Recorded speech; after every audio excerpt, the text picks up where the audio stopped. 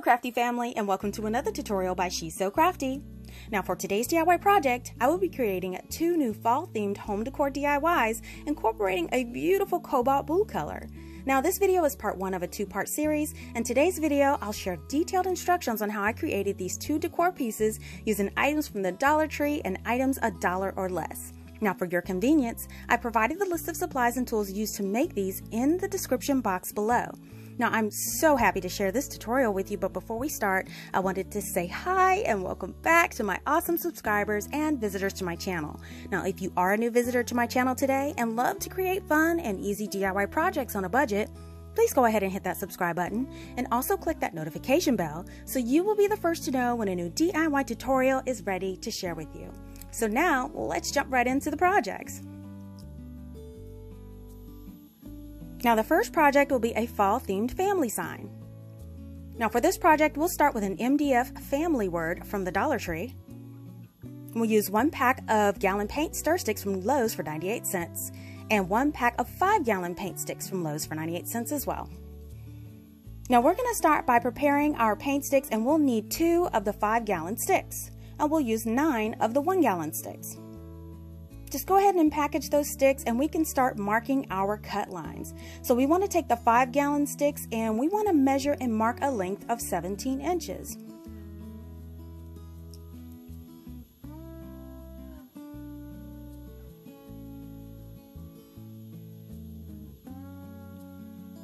And then you want to take your one gallon sticks and you want to mark a pointed top and I just hand drew this one on. And once I did that, I took them outside to cut with my saw. And here are all of my pieces cut to size. So now we can prepare to stain and I'm going to gather up my supplies. So I will be using my favorite Jacobean stain by Minwax. Now if you don't want to use stain, you can also use antiquing wax or even diluted acrylic paint to achieve the look. Now these sticks have a printed side and a blank side, so be sure to apply your stain to the blank side. And then I just want to proceed with staining all of the sticks and you want to make sure that you cover the edges and all of the ends.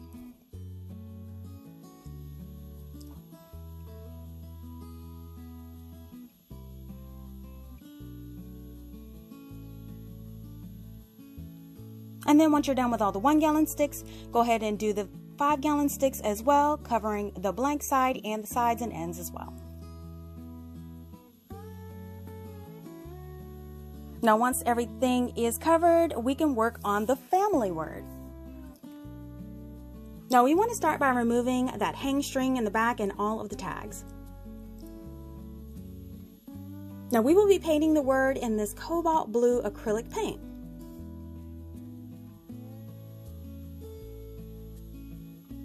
Now, we want to start by applying that paint all around the edges and curves first.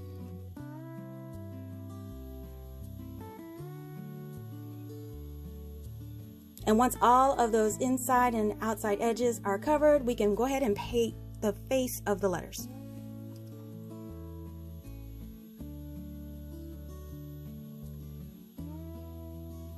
And here's how it should look. So once that dries, um, what I'm going to do is I'm going to take some acrylic paint and I'm going to outline the letters.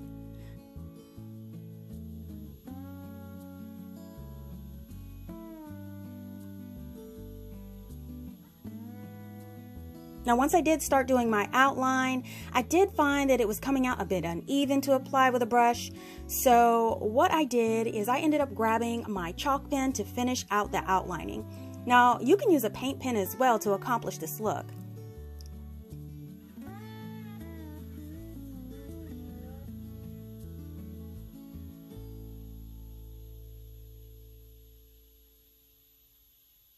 And here is the outline all completed. Now this will help it pop out on those stain sticks. And now that those sticks are dry, we can go ahead and grab our grid mat and we're gonna start laying out the sticks. So we're gonna be laying out those two five gallon sticks horizontally and we wanna lay them out about six inches apart. And then we're gonna place those one gallon sticks vertically on top and we wanna make sure that these are spaced one inch apart. Now I will be using this wood glue from Dollar Tree to bond these into place. You just want to apply a bit under each stick and you want to press it into place and you want to make sure that it's even along the bottom.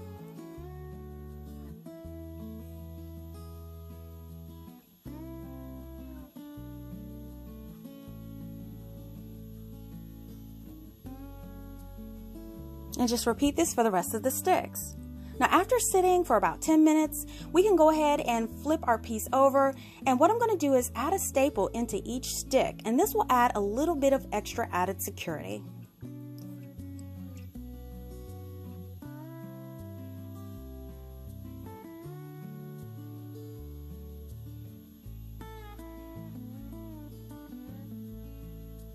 And now your base is complete.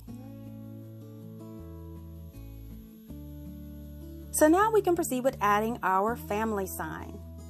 Now to make sure we glue it on evenly, I'm going to use a piece of painter's tape along the bottom of the word. And then I want to kind of take note of which letters overlap a stick and I'm going to flip it over and add hot glue to the back of those letters. Now to you can hang this piece fairly easily after you do this.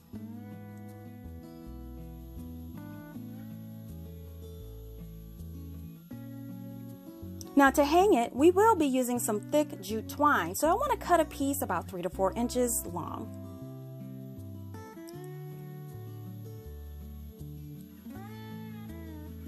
Now I'm just going to apply these on that second stick from each end and I want to loop the twine and I want to apply hot glue on each end.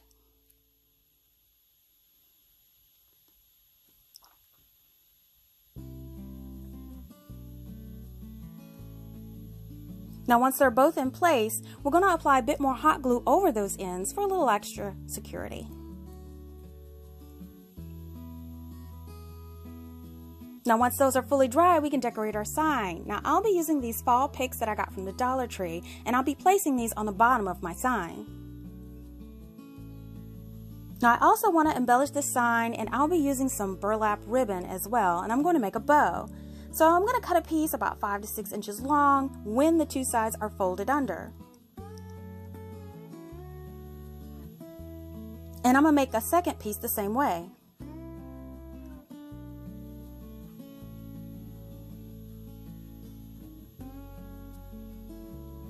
So I'm going to take a piece of twine um, and I'll be tying these together. So I'm just going to fan fold those two ribbon pieces I cut Place them side by side and then tie them together with that twine.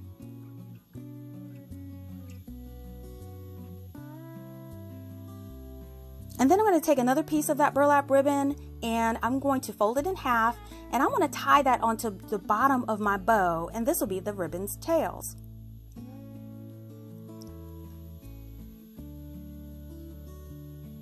And once everything is tied into place, we can go ahead and trim out the bottoms of that ribbon and adjust the bow.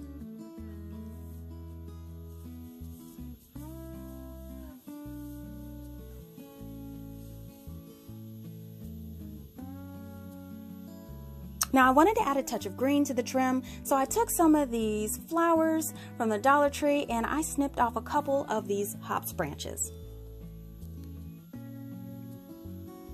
And now we can hot glue the trim to the bottom. So I took both picks and I added them in the middle with hot glue.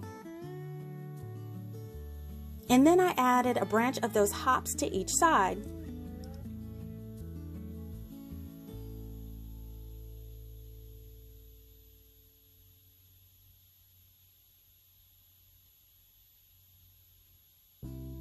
And then finally, you can trim it out with your bow. Now you can add any color bow that you want. You don't have to have a bow. You can add more greenery, pine cones. It's up to you.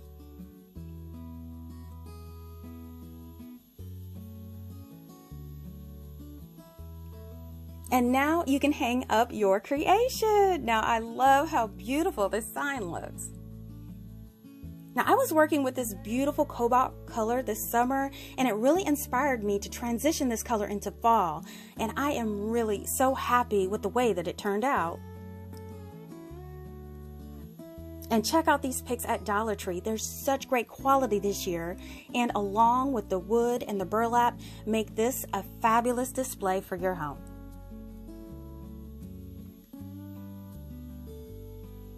Now project number two is a lighted fall house decor. Now for this project, we'll start with two of these house frames from the Dollar Tree and a sheet of this blue gingham, which is pr printable provided in the description box below.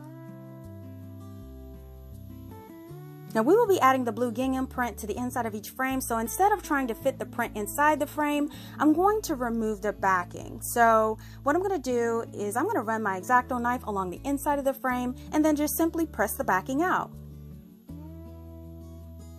And then I'm going to repeat this for the other frame. And once frames are removed, we can set those to the side. So now what I want to do is I want to trace those backing shapes out of that gingham sheet that was printed out on cardstock.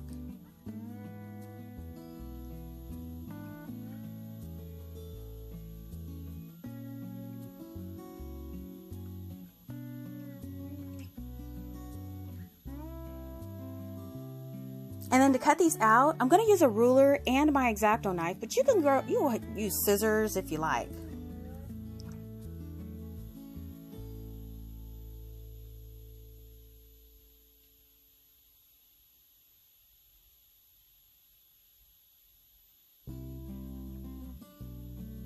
So now that you have your two shapes, you can adhere them to the backboards. And to do this, I'm simply going to run a bead of hot glue around the edge and then press that gingham sheet into place.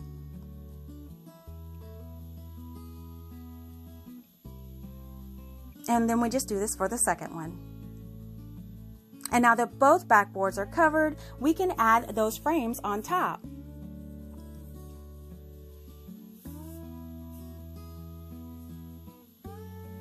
We're just going to run a bead of hot glue around the frame and then take that backing and press it into place.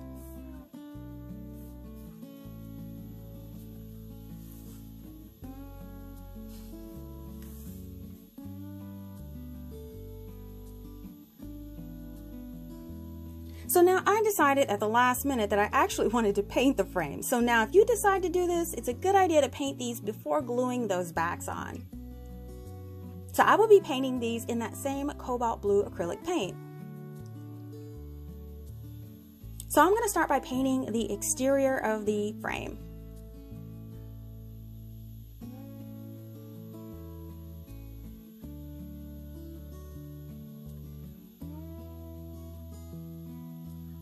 And then I'm going to paint that front edge of the frame.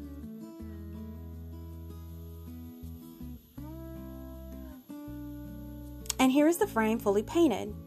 Now we're going to just repeat this for that second frame. And then once it's dry, we can start to embellish our houses. Now I will be using these two pack of battery votives. I'll be using four tumbling blocks with one of them cut one third off. I'll also be using some small florals and greenery. I'll also use some of these wood branch pieces from the Dollar Tree And for a cover, I'm going to be using this blue portion of this placemat. Now the first thing we're going to do is we're going to take those votives and I want to place one at the peak of each house upside down.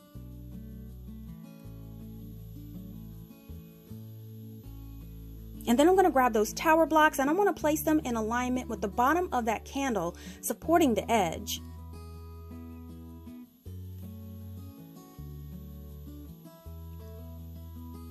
And once they're in a place where they can support that candle, go ahead and hot glue those pieces into place.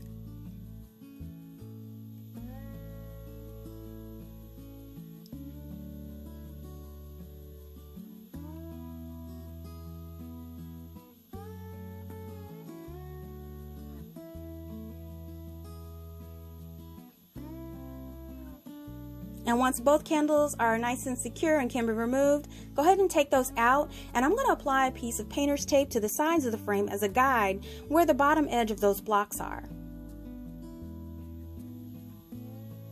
And then I'm going to grab that placemat and what I'm going to do is I'm going to trace the top of those houses and making the bottom edge match up with those tape marks. Now, you can certainly do this with the house opening facing upwards where you can see the bottom of the blocks too.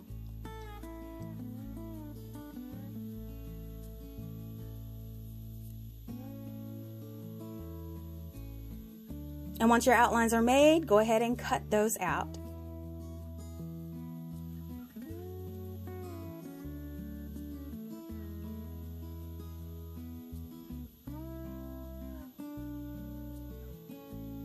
Now once your pieces are cut out, we're going to mark that bottom edge and we're going to take make a straight line with our ruler to make sure we're nice and straight on the trim.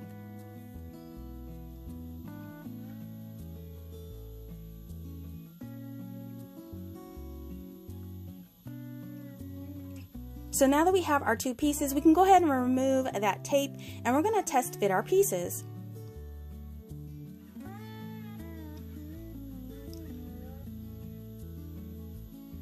So I'm going to take my candles, I'm going to put my candles inside, and I do want to make sure that those covers fit while the candles are inside of the house.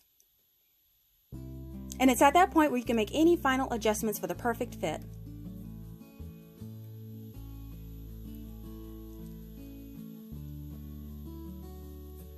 Now to make this top portion removable for candle access, we can use these Velcro dots or magnet buttons. Now I'm going to go with the magnet buttons for this project and they come in a six two-piece sets in a package.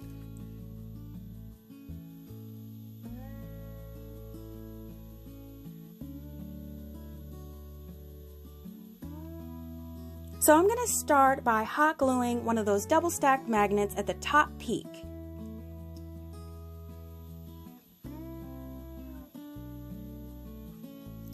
And then I'm going to apply one on each side. You want to make sure they're in alignment with where those tumbling blocks are. Now we want to make sure that the magnet is overlapping on the inside of the house and not the outside.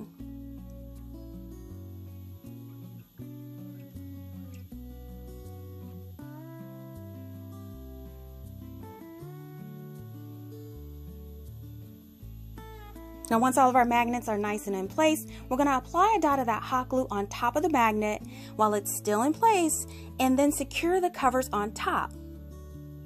Now this will bond the top magnet to that cover sheet. So now we can start adding our flowers and greenery to our house. Now I'm going to start by just trimming down the stems so the pieces do not go above those top covers. Now I found that it was easier to work with if I removed the flowers while I placed in those stems.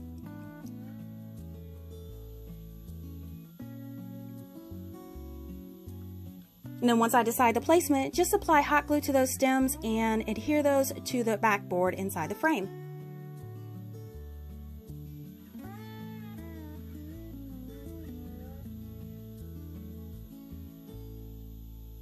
And then you're just going to repeat this for any additional flower stems or pieces that you want to add.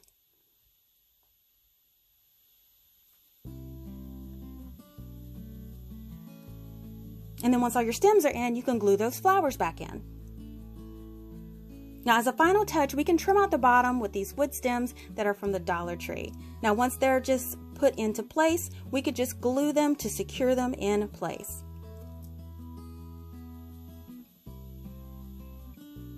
And here's everything in place. Now just remove those candle covers and we can turn on those lights and see how everything looks.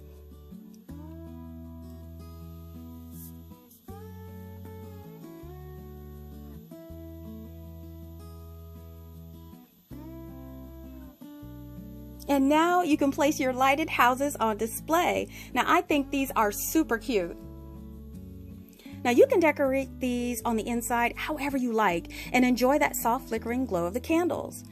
Now I think you could design this with a faux fireplace or even a Halloween theme with lightning. I mean, how cool would that be? And you can even add a faux shutter to the cover piece. I mean, there's so many things you can do. Now the possibilities are endless with these houses and I hope you have fun creating your version. Let me know in the comments which one is your favorite today. Listen, if you love DIYs on a budget, give this video a thumbs up and share this video with your friends. Make sure that you're following She's So CraftDee on Facebook for the latest new sneak peeks, and giveaways. Thank you so much for visiting and checking out my tutorial today. If you like videos like these and don't want to miss the next one, make sure you're subscribed by clicking that subscribe button below and turning on that notification bell. Thanks so much for watching and I'll see you all next time.